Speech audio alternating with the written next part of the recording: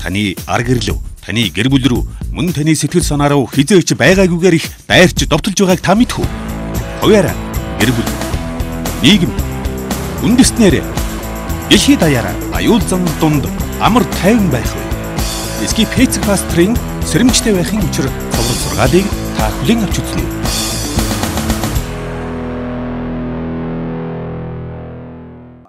Одоо миний бодлыг сайн сонсоорой. Сүм үнний төлөөх тулааны тэргүн игнэнд явсаар ирсэн. Пүүл сүмийг ингэж хэлсэн байдаг. Тэрээр сүмийг юу гэж дүрсэлснийг сонсно уу? 1-р Тимот 3:15. Үнний баг нь ба суурь болсон мөнхийн эзний сүм. Хэрв сүм үнний баг нь ба суурь юм бол бас нөгөө талаараа дайралтын гол бай. Сүнсний тулааны бүс болох нь гарцаагүй шүү дээ. Тиймээс сүмд либерализм гарч ирэхэд, гаж урсгалууд гарч ирэхэд бид нэг их гайхдаггүй сүмд хагарал зөрчил гарч дайралтанд өртгөдч бид нэг их гайхдаггүй. Яагаад гэвэл сүм бол гол бай юм. Тиймээс бүгдээрээ шинэ гэрээнд анхааруулсны дагуу их анхаарал болгоомжтой байх ёстой юм а. Болгоомжтой байх ёстой. Болгоомжтой. Энэ нэр үсээд их олон жил болж байгаа. Та нарын зарим нь сонссон байх. Зарим нь огт мэдэхгүй ч байж магад.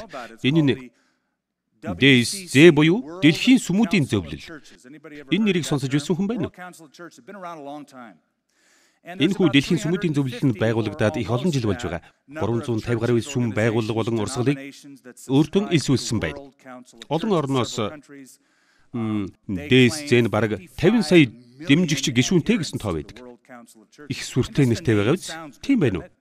Бид бүгдээрээ хамтдаа нэгдхийг дэмжиж байна. Бид бол дэлхийн сүмүүдийн зөвлөл гэж тэд өөрсдийгөө тодорхойлдог. Тэдний удирдах зөвлөл нь Женев, Швейцар зэрэг оронд байнга уулзалт хурал хийдэг. Саяхан тэдний чуулга уулзалтанд 25 теологч оролцсон нэгэн мэдэгдэл буюу тунхаг гаргажээ. За тэгээд тэдгээр 25 сүмийн теологчид ингэж үтсэн байна. Альва шашин болон шашин шүтлэгийн уламжлалт зан үйл нь хоёр талтай. Өөрөөр хэлбэл сайн муу талтай гэсэн үг л дээ. Бид авралыг зөвхөн Есүс Христэд итгэх хувь хүний итгэлээр хязгаарладаг үзэл бодлоос татгалзах цаг болжээ гэж. Үүнийг хэлсэн хүмүүс бол бүгдээрээ сүмийн өдөрдөгчд. Иесусээс татгалзах болжээ. Сүмүүдийн дэлхийн зөвлөлийн эдгээр теологчдын нэг Чун Хиун Кун гэдэг солонгос хүн би нэрийг зөв хэлсэн байх гэж бодож байна. Миний биеийн гэдэс бөө мөргөл зүрх маань буддист харин толгой минь христийн байна гэдгийг би олж мэдсэн гэж хэлсэн юм. Энэ ямар утгатай юм би үнэхээр ойлгохгүй. За одоо бүр сүүлийн үеийн жишээ татъя л да. Томоохон хэмжээний нэгэн хөдөлгөөн байдаг. Шинчлэлт ч гэж нэрлэдэг. Бас хувьсгалт сүмж гэдэг. Энэ нь 90-ад оны үед үүссэн бөгөөд анхандаа сайн зоригтой байсан байна. Одоо ч бас тийм ч буруу биш л дээ. Тэдэнд зарим нэг авштай сайн тал байдгаа гэж би боддог. Анхандаа нэг хэсэг хүмүүс цуглараад бид өнөөдөр чуулганаа хэрхэн хийх ёстой вэ? Ирээдүйн хойч үед чуулган ямар байх нь зөв бэ? Тэгээд л хөгжмөө сайжруулцгаая, стилэн өөрчилцгөөе. Ирээдүйн хойч үеийнхэндээ зориулж чуулган хоёр цэгийг байгуулцгаая, стилэн өөрчлөхөд муу юм огт байхгүй юу? Харин үзэл онол мөн чанар болон үнний тухай яриад ирэхээр л гажуудаад эхэлдэг. Үүнээс болж хувьсгалт сүм гих энэ нэрийн дор өөр өөр гаж урсгалууд үүсэн гарсан юм.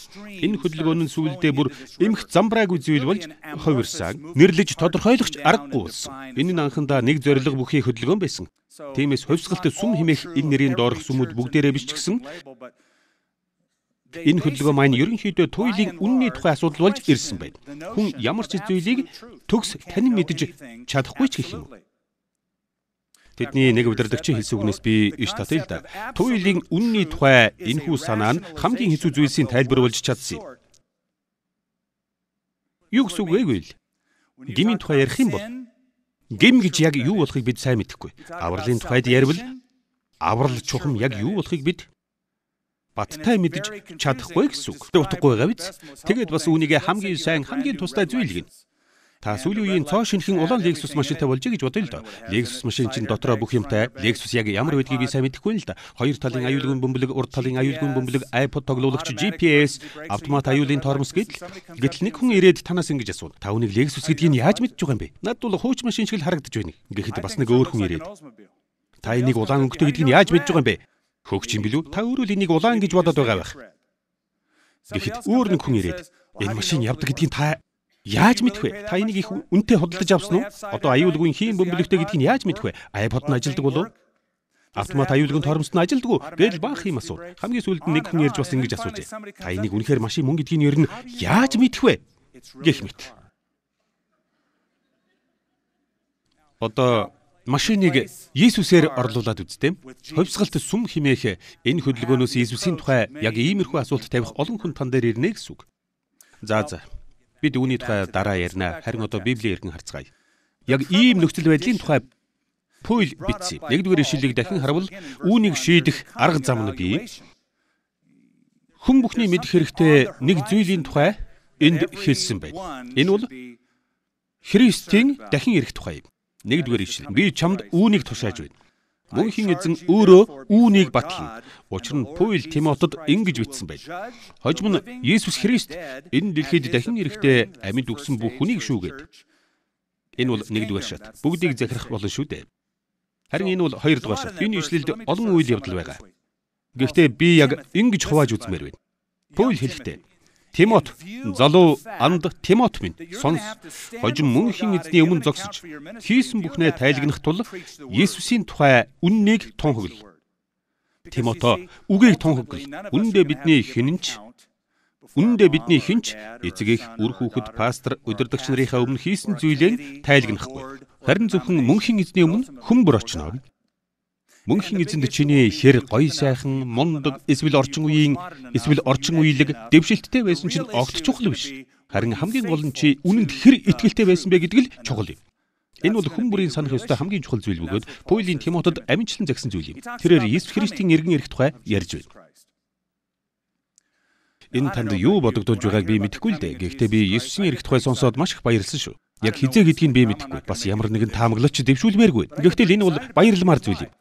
Учир нь Есүс Христ энэ дэлхийд эргэн ирэх нь анхнаасаа л Христ итгэлийн гол найдвар хүлээлт байсаар ирсэн. Тэр ирэх болно.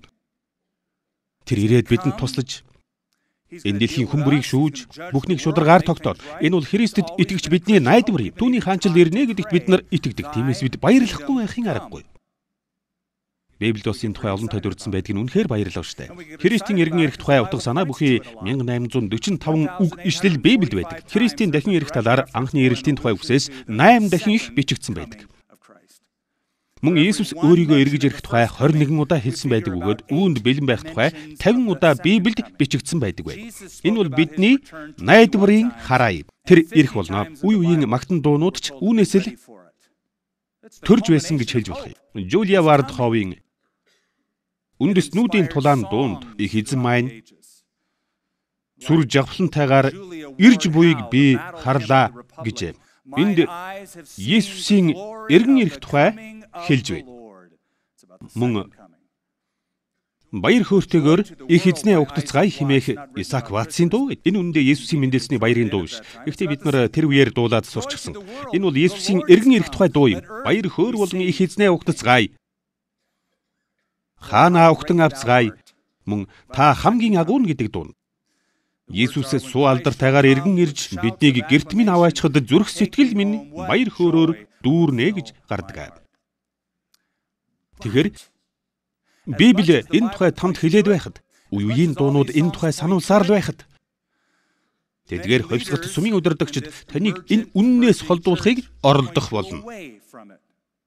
Есүс Христийн эргэн ирэх тухай ярих нь Утга учиргүй тэнэг зүйл бөгөөд хүмүүсийг төөрөгдөлд оруулж байна гэж тэд танд хэлэх болно.